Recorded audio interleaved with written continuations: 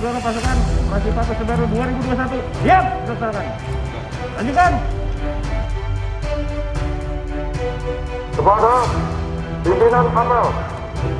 Hormat! Aus! Tegak!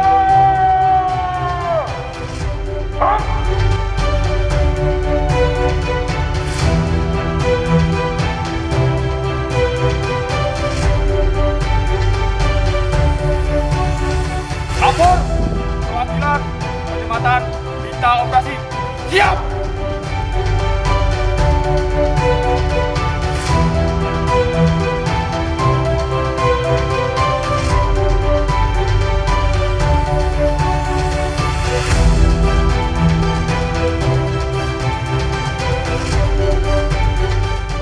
seperti yang telah kita ketahui bersama bahwa pelaksanaan operasi patuh pada tahun 2021 ini tidak jauh berbeda dengan pelaksanaan operasi pada tahun 2020 sehingga fokus pelaksanaan operasi ini lebih mengedepankan kegiatan yang bersifat preemptif dan preventif terutama dalam rangka sosialisasi kepatuhan protokol kesehatan kepada masyarakat. Memang bukan fokus ke pelanggaran kendaraan, bukan pelanggaran pengemudi, akan tetapi lebih tetap ke penegakan prokes masyarakat terkait pandemi COVID-19.